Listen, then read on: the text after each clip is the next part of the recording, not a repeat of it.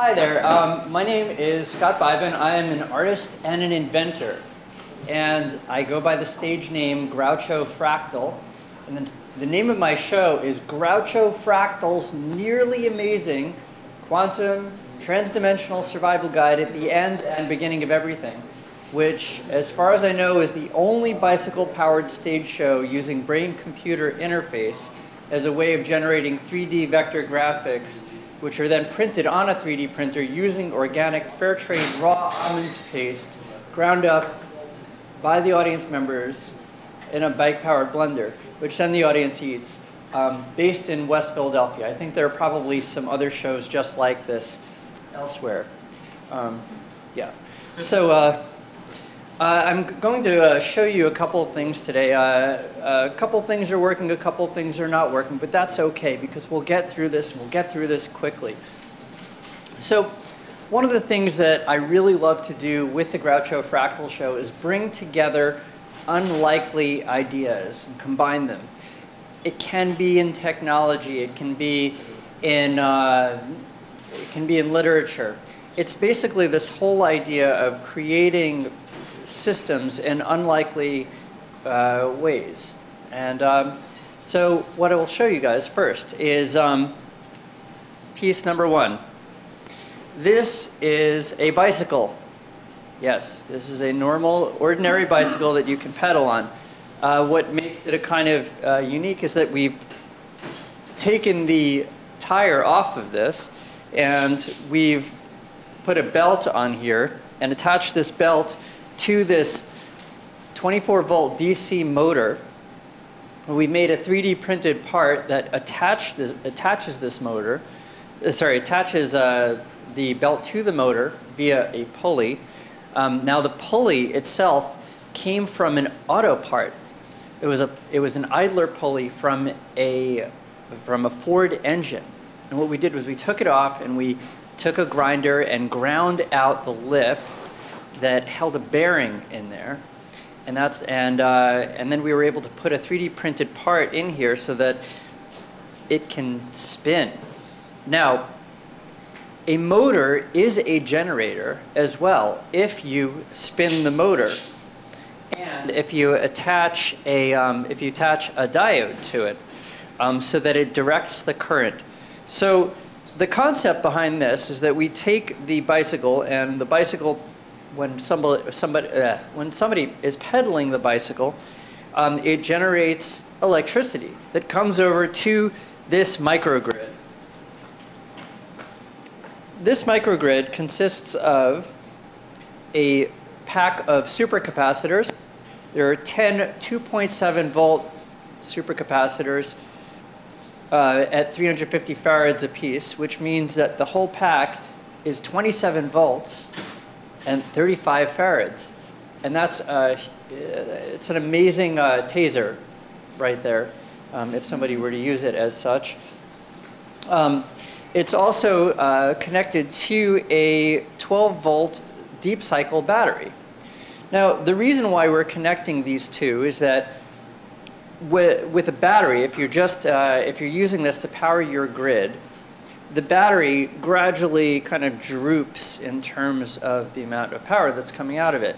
So if you attach uh, capacitors to it, what it does is it keeps the levels high enough so that you don't have a drop off. It's a very, uh, very fun uh, thing that we came up with. And uh, yeah, and this is one of the open source concepts behind uh, what we do. It's basically we uh, we, being this kind of organization that I'm part of called Sufficiently Advanced Technologies, um, we're basically just a group of geeks getting together and figuring out ideas which we can open source, which people can make use of in the world. So um, if you're planning on making a microgrid, this is a pretty good setup. And this is attached to a power inverter. Now, we could go off of DC directly, but one of the reasons why, I'm why we're including an inverter is actually to show you how much loss there is when you're converting from DC to AC. Um, because we're also uh, going to need to convert from AC to DC. um, in order to get these devices to work. These devices being this laptop and this 3D printer and this projector. These are all operating off of this battery and supercapacitor combination. And uh, if you bicycle, it'll just generate enough electricity to kind of, kind of keep it going. Um, so if, um, if you're not familiar, uh, DC um, is a way of generating electricity, well, DC is a, uh, sorry, direct current. Basically, it is when electricity travels over short distances. Um, alternating current is created by having a set of alternating, sorry, I keep, I, I, I wonder how, how I'm doing, uh, sorry, I'm rushing through this whole thing. Apologies, everyone. Okay, so direct current, um, direct current is, uh, is when you have a, is, direct current is created when you have a generator that has a positive and a ground uh, wire on, uh, wrapped around a core, and you have uh, a couple of magnets uh, uh, around it. And just like this, uh, this motor, this is an example of a DC motor. It's just, a, it's just a, um, a copper wire wrapped around an iron core with uh, positive and a ground uh, for magnets. Now, uh, if I was to create alternating current, what I would do is I would have, I would have two uh, wires wrapped around a core and then four magnets. So I'd have two po uh, one positive, one ground, and then another positive and another ground. And the thing is, when you're creating alternating current, you can actually transport electricity over long distances. Now, that was one of the ideas that uh, Nikola Tesla had um, when he built the first hydroelectric uh, power plant at, um, at Niagara Falls um, in order to send electricity to New York City. Now, it is a great, it is a, alternating current is an absolutely great way of transporting electricity over long distances. But one of the things that's very problematic about it is that you can't store electricity in alternating current situations unless you're doing something like pumping water up to a reservoir and then having that water come back down through a hydroelectric dam. So it's very inefficient. So the um, so currently the technology is such that we can have uh, solar powered systems and wind powered systems locally set up and we can have local power co-ops uh, so that we don't have to have power transported to us from long distances. Um, and uh, one of the problems with the way that, uh, that alternating current is set up currently is that uh, it's um, that the power grid that we have is largely supplied by coal plants. There's nothing inherently wrong with alternating current as a technology. In fact, it's a great way of uh, transporting electricity. But the problem is that the majority of the inputs are actually from coal and things like nuclear, um, which uh, are incredibly non-sustainable. So the um, so one of the things that I'm trying to teach with this show as I bring it to festivals is um, the difference between direct current and alternating current, and also showing people how to uh, power large groups of things. How am I doing on time? Five minutes, five, ten minutes. Five, ten, okay, cool. So, okay, sorry I'm rushing through this. If you have any questions after, afterwards, I'll leave a, leave a couple of moments. Um, so, um, one of the reasons why we, I actually came up with the system was that I wanted to actually have a bicycle-powered 3D printer. So this is the SorcerBot. This is a 3D printer that was created by the Sufficiently Advanced Technologies group. Um, it is not just a 3D printer. What this actually is, is a, um, it is a, the product of an app. And so the idea is that we have this app where you can plug in various, uh, various things that you would like from a 3D printer. Let's say hypothetically you wanted a 3D printer that was 12 inches by 48 inches by 36 inches you can plug in these coordinates. And let's say that you wanted a food printing head, and you wanted a uh, you wanted a plastruder, and you wanted a Dremel head, and you wanted all these things on one uh, on one 3D printer. Well, what it will do is it will spit out the STL files for the 3D printed parts, like these, the cut files, uh, the DXF files, which are uh, the things that uh, make up the box, all the dependencies for the hardware, which you need to cut, like the smooth rods and the, uh, the threaded rods, and all the programming for the Arduino, uh, which is right over here. This is a uh, microcontroller, and the uh, yeah, and that is how uh, all these things are controlled. It's the interface between uh, this computer and this 3D printer that gives it its instructions. So um, yeah, so we came up with this uh, fully open source, fully free, free software, free hardware 3D uh, printer that we're going to release the code for, hopefully by July, um, and release it out into the world under GPL. And uh, hopefully you guys will want to make your own SourcerBot in time. Uh, so um, one of the things that I was not able to do was get some of the goo in here. This is uh, one of our creations. This is uh, the Goostruder. This is a paste extruding head that can fit onto the X carriage of the SourcerBot. And what it does is it prints out um, paste and that type of thing. So I wonder if maybe I can show you uh, an example of it working.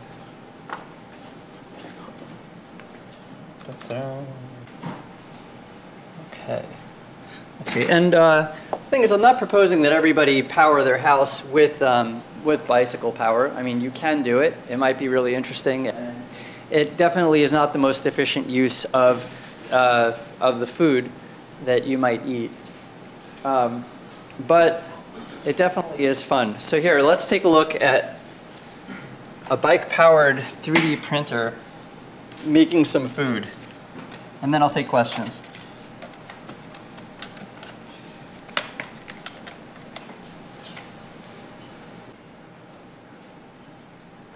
So one of the things I'll say about uh, the Groucho Fractal Show, it's, uh, it's an educational show. It's uh, designed to teach people about uh, open source technologies and, it, and encouraging people. Here we go. Here we go.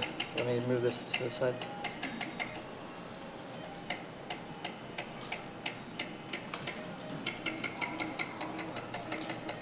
Okay, so what you see right here is the food printing head uh, printing out some goo.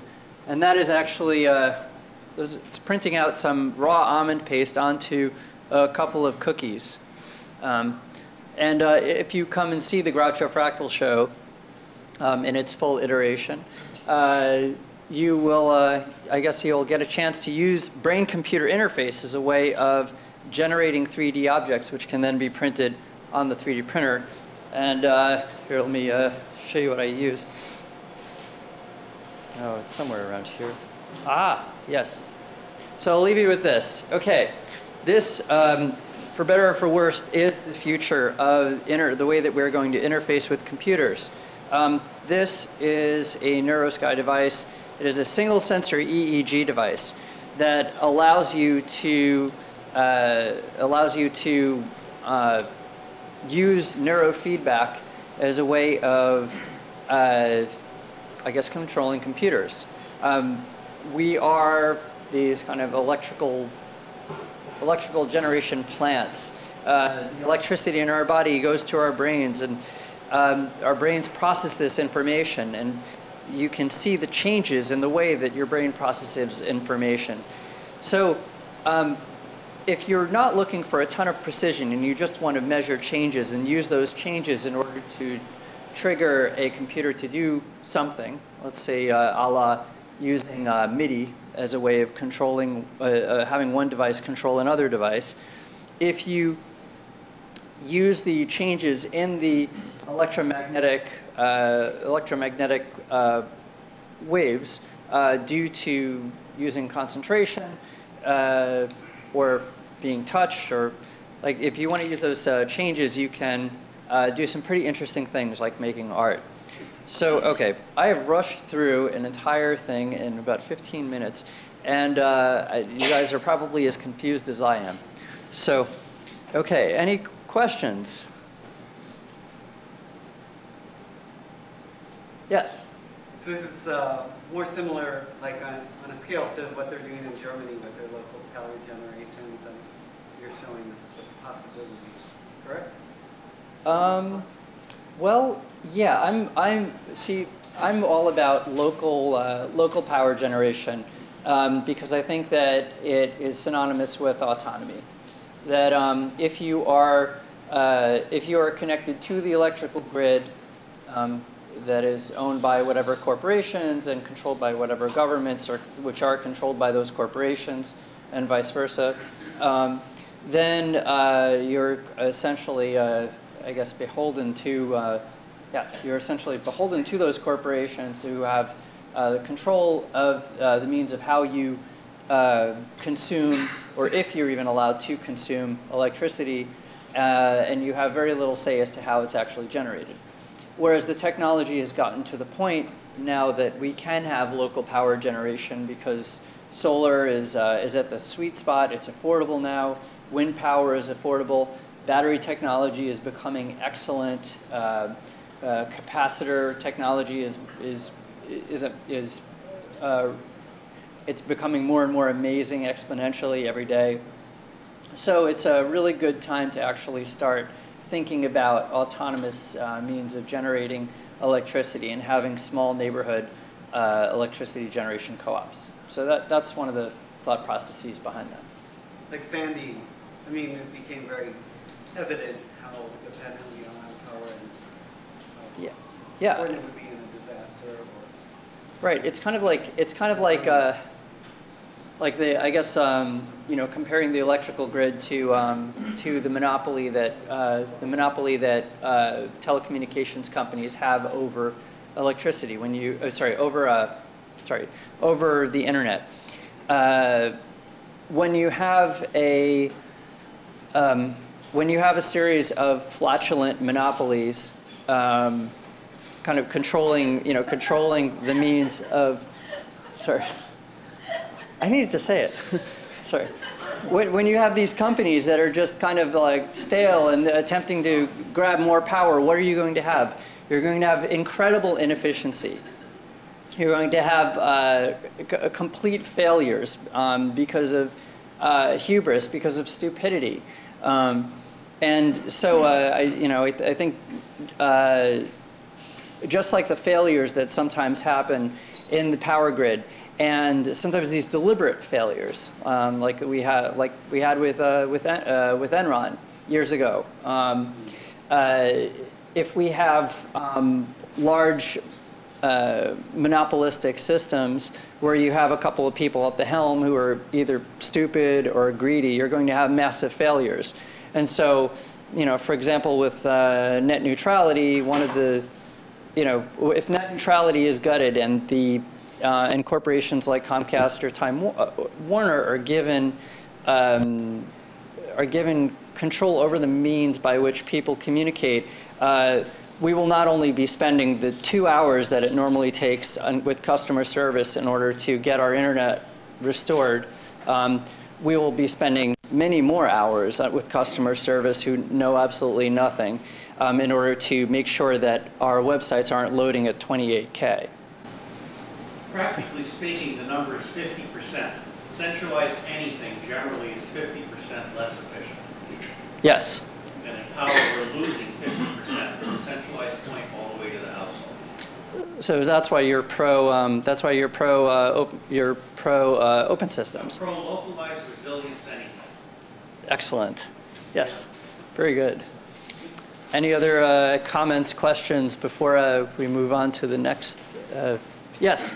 Um, Are you still sort of in beta mode, is there a community that's taking you on, so to speak, where you kind of have something to see? Yeah, um, it's con- the concept behind the show is to be constantly in beta and alpha mode, um, constantly adding new uh, technologies to the show, new prototypes, um, and then open sourcing these prototypes and giving people uh, the chance to kind of take these ideas and run with them. So I do shows at, um, at festivals, at schools, at hacker spaces, and uh, different places where people would have me. You know, also just kind of random hit and run shows. Um, because the thing is, the show can be done completely off grid. I could potentially do this on a street corner and then just introduce people to some of these concepts. Do you have a team of people or is it just you? Uh, I'm, I actually have some of the people in our team right here. This is uh, Elizabeth Jane Cole and Brian Cohen, um, and Chicken, the dog, is right here. Chicken is actually uh, the person who dictates everything. Um, yes, yes. Um, when it is time to take a walk, that is the time to take a walk. Um, yeah, so uh, this is part of the team. Uh, there's actually a whole huge team of people that are developing stuff within these projects. Um, and uh, yeah, I don't know, we're just a bunch of geeks that really like open source technologies and putting it out into the world in an artful and fun way. Yeah. Okay. Thanks, everyone.